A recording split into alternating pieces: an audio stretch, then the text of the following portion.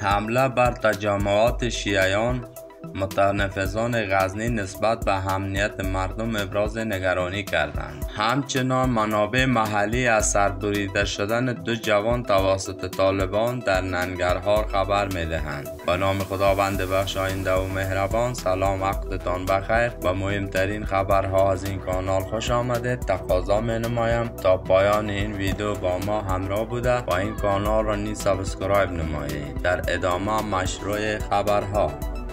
حمله بر تجمعات شیعیان متنفذان غزنی نسبت به امنیت مردم ابراز نگرانی کردند. هشت صبح غزنی به دنبال حملات خونین بر مراکز آموزشی و مساجد مربوط به شیعیان در کابل و بلخ بزرگان و متنفذان ولایت غزنی در خصوص امنیت این گونه مراکز ابراز نگرانی کردند آنان در دیدار با قماندان امنیه طالبان در ولایت غزنی نگرانیشان را در این مورد مطرح کرده و خواستار رای های معصر برای تامین امنیتشان شده اند متنفذان غزنی وعده های مسئولان امنیتی را قناعت بخش ندانسته و گفتهاند که بار بیشتر مسئولیت تامین امنیت مراکز و محلات بر عهده مردم گذاشته شده است. در پی افزایش حملات به تجمعات و مراکز آموزشی اهل تشیع در کشور به باشندگان غزنی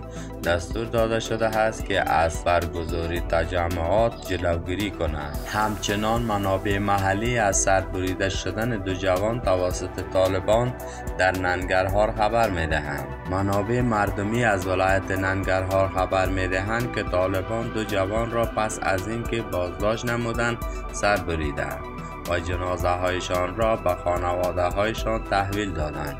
منابع می‌گویند که این دو جوان پسر کاکا بودند که روز گذشته شنبه سه سور از مربوطات ولسوالی خوگیانی این ولایت بازداشت شده بودند. نیروهای طالبان جنازه های این دو جوان را امروز به خانواده هایشان تحویل دادند. تا کنون هویت و انگیزه قتل این جوان مشخص نشده است. طالبان نیز تا کنون در خصوص این گزارش اظهار نظر نکردند از توجهتان تشکر برای بهبود مطالب. این کانال را subscribe نمایید تا بسته خبری دیگر الله مددگارتان. فراموش نکنین این ویدیو را like و به دوستانتان نیز به اشتراک بگذارید. پیروز و سربلند باشید.